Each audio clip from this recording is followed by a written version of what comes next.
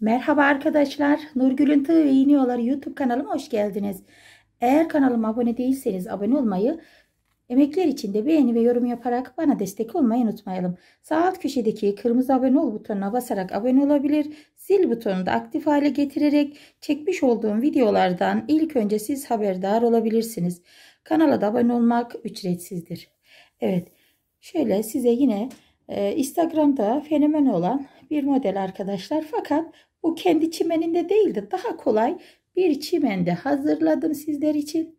Bakın bu bildiğiniz üçgenli trabzan ve üçgenli trabzandan da yapmış olduğumuz yuvamıza bu fıstık modelini, dolama modelini yaptım. Şöyle birazcık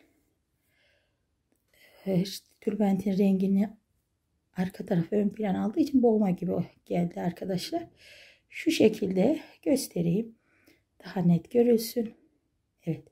Bildiğiniz bu Instagram'da keşfette dolaşan fıstık oyasını bakın e, daha kolay bu üçgen trabzan ve zemini de bildiğiniz benim çok sevdiğim bir e, şu ikili trabzanların arasına yaptığım beşer zincirden oluşan yuvalara bu fıstıkları yaptım arkadaşlar sizler için. Kolay e, bana çok kolay geliyor bu yuva. Çok da hoşuma gidiyor. Güzel duruyor gibi arkadaşlar. Kolay olduğu için ben de seviyorum. Böyle size bu yuvada bu fıstıkları anlatmak istedim. E, kendi çimeninde değil de farklı bir çimende de hem görmüş olursunuz hem de Instagram'dan bazı arkadaşlar yazıyor. Allah senin anlatışından daha iyi anlıyoruz diye. Artık onlar beni mi tavlayıp kandırıyorlar gerçek mi? Hepsinden Allah razı olsun. Evet çiçeğim bu arkadaşlar. Bugün size anlatacağım modelim bu. Şöyle bu şekilde de de sallantılı haline bakın. Duruş şekline. Işıktan dolayı arkadaşlar bazen ben de kendimde modelin güzelliğini pek yansıtamıyorum diye düşünüyorum. Bu şekilde bir de sallantılı haline bakın. Modelimizin duruşu bu şekilde. Evet. Şimdi anlatım kısmına geçerek çimenin yapılışıyla başlayalım. Şöyle bakın üçer zincir çekerek tığ batlarını hazırladım. Ee, sonra çimeni ve en sonda çiçeği olarak devam edeceğiz. Evet. Tığ battığımızın içine sık iğne ile sabitleyerek modelimize başlayacağız. Şöyle 7 tane bu ara mesafesinden bırakıyorum. Bir tanesi zaten e, çiçeklere gidiyor iki tanesi. Şöyle ortada da 5 tane bırakacağım arkadaşlar. Benim her zaman söylediğim gibi model amaçlı. Siz istediğiniz kadar bırakabilirsiniz. Evet, sık iğne ile sabitledikten sonra iki tane zincir çekiyorum. Bir defa tığımı doladım. Şöyle yuvaya girip iki ve iki alarak trabzan yaptım. Dört zincir. Buraya kapattım. İki tane zincir çekiyorum. Yandaki tığ battı ya. İki zincir çekiyorum. Bir defa tığımı doladım. 2 ve 2. 4 zincir. 1 2 3 ve 4 kapattım buraya 2 zincir. Hemen yandaki yuvanın içerisine girip sabitledim. Bu şekilde yaptık. Şimdi 2 zincir çekiyorum. Bir defa tığımı doladım. Yuvaya giriyorum. 2 ve 2 trabzan oluşturdum 2 zincir çekiyorum. Hemen yandakine girip sabitliyorum. 2 zincir. Bir defa tığı doladım. Hemen yandakine girip 2 ve 2. 1 2 3 4 5 6 7 8 ve 9.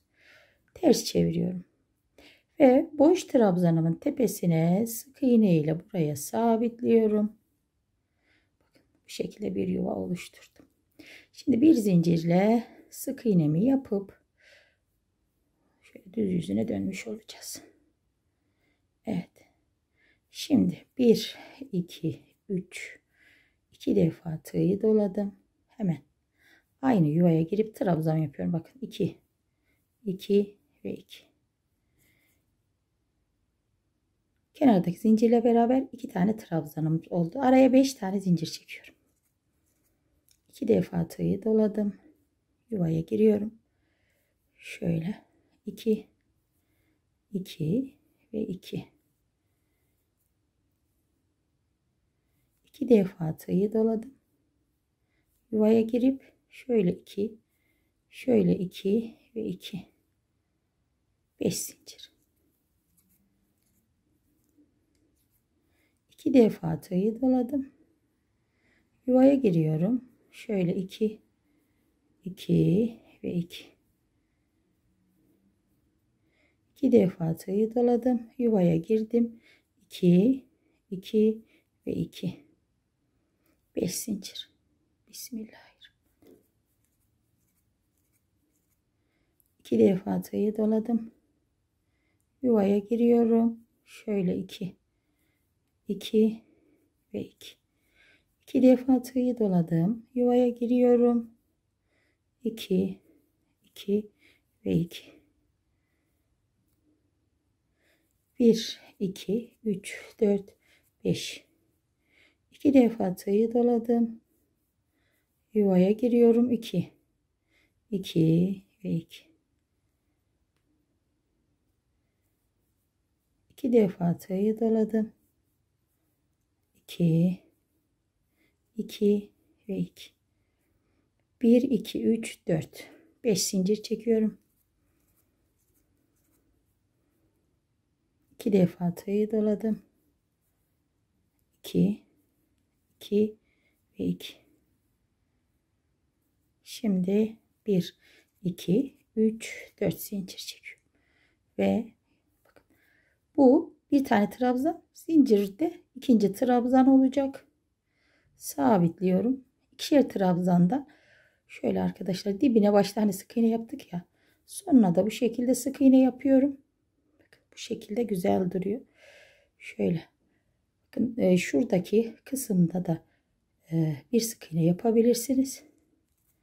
İki zincirimi çektim. Hemen yandaki boşluğa girip sabitliyorum. Evet. Şöyle yaptığımız yuvaları görün. Bu şekil oluyor arkadaşlar. 5 zincirli yuvalara fıstıklarımızı yapacağız. Şimdi bu gösterdiğim iki taneden yine 5 tane yapacağım. Şöyle bir iki tane yapıp 5'e kendim tamamlayayım. Aynı işlem uzun sürmesin. Evet. İki tane zincirimi çektim. Bir defa tığı doladım.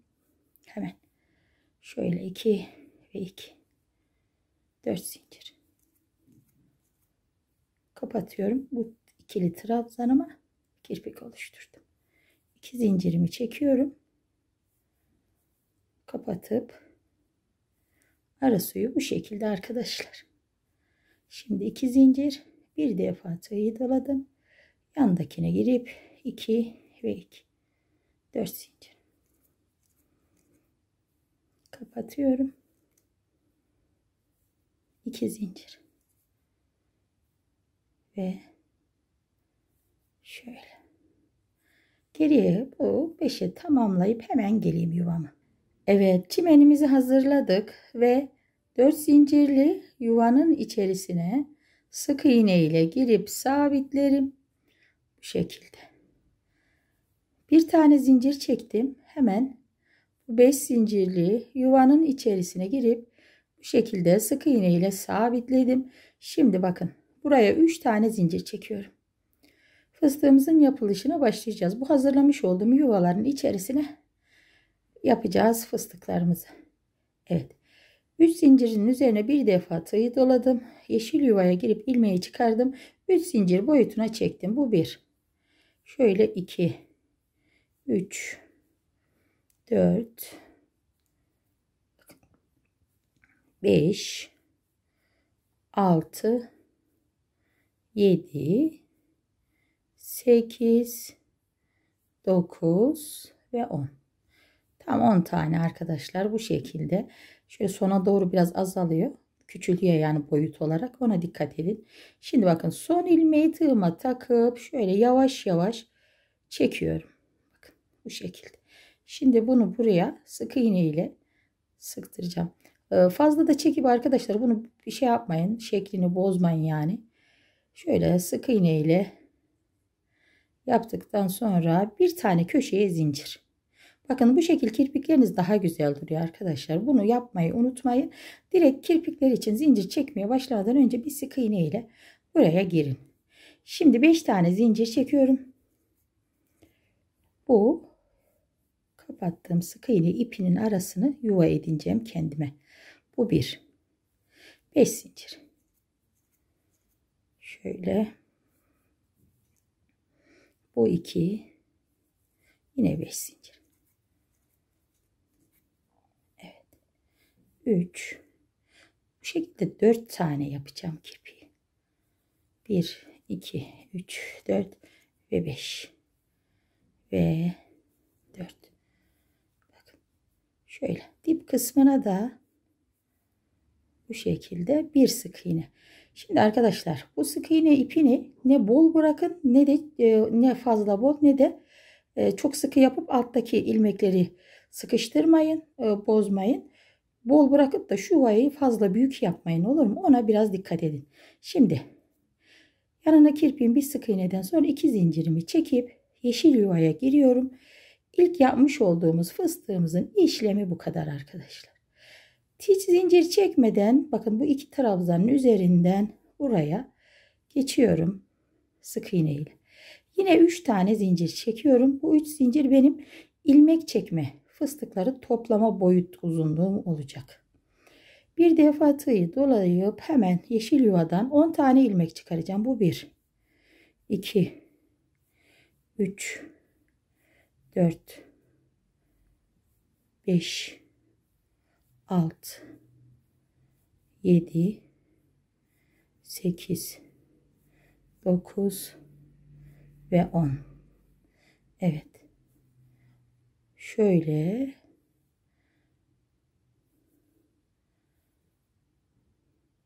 Sık iğne ile tutturduk. Bir tane zincir çekip kapattım. Şimdi 5 tane zincir çekiyorum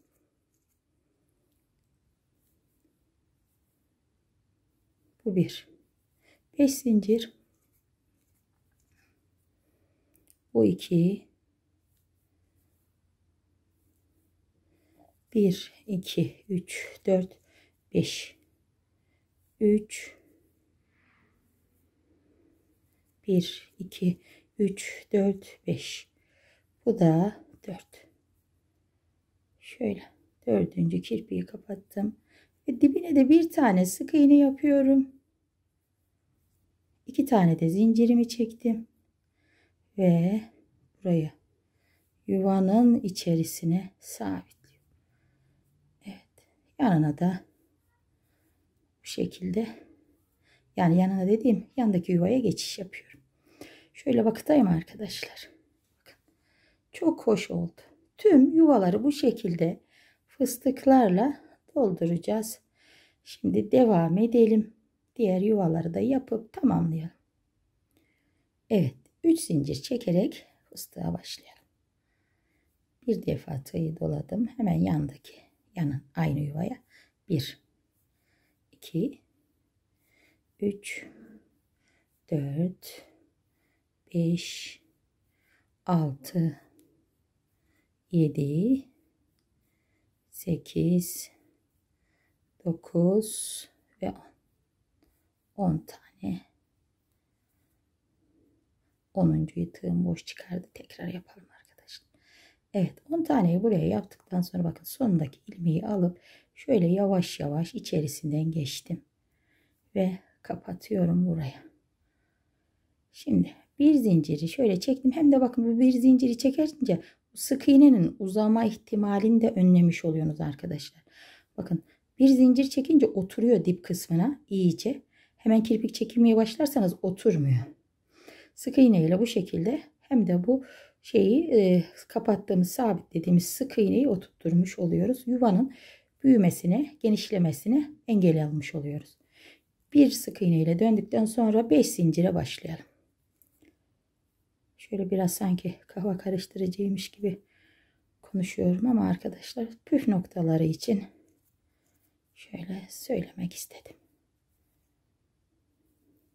2 3 4 5 zincir. Üçüncü kirpik. 1 2 3 4 5 zincir. Daha dördüncü kirpik. Şöyle dip kısmına sabitliyorum. Evet üçüncü fıstık da tamam. Dördüncü fıstık için diğer yuvamıza geçişimizi yapalım. Şöyle 3 zincirle yine başlayalım fıstık yapımına. Bir defa tığı doladım. Yeşil yuvaya girip ilmek aldım. 3 zincir boyutuna çektim. Şöyle 2 şöyle 3 4 5 6 7 8 9 ve 10 10 tane ilmeği yine şöyle yavaş yavaş içinden geçip sabitliyorum Şimdi bir zincir çekip oturtturdum bu dip kısmındaki sık iğneyi. Şöyle kirpiğim güzel olsun diye telin arasından da girip yuvanı bir sık iğne ile başlıyorum. Kirpik güzel duruyor. 5 zincir. Yuvanın içerisine girdim. Bu bir. Bir, iki. Bu iki. yuvanın içerisine girdim.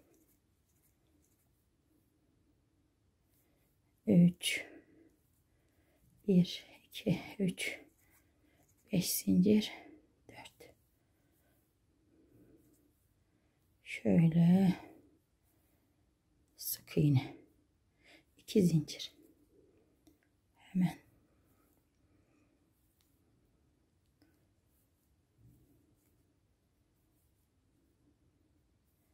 1 2 ve 3 tane zincir çekiyorum. Bir defa tığı doladım. Şöyle bir. Şöyle 2 3 4 5 6 7 7 8 9 Onumu birden kapattım. Şöyle bakın. Sık iğne ile içerisine girip sabitledim. Evet. 1, 2, 3, 5 zincir. 1, 2, 3, 4, 5. 1 2 3 4 5 zincir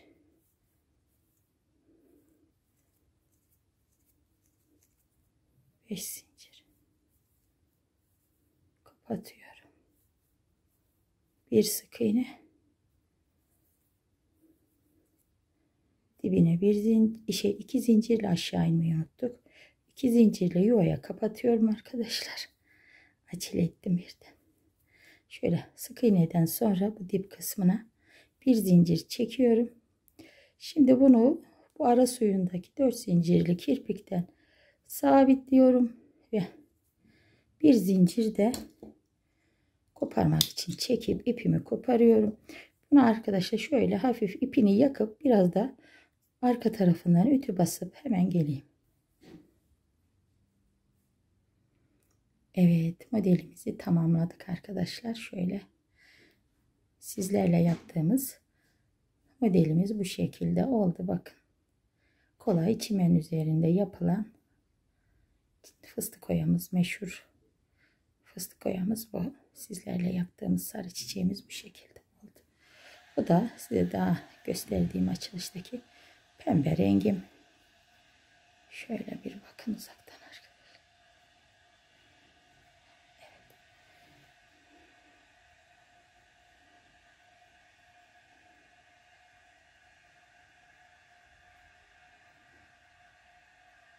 Sizler de emekler için beğeni ve yorum yaparak destek olursanız sevinirim. Şöyle.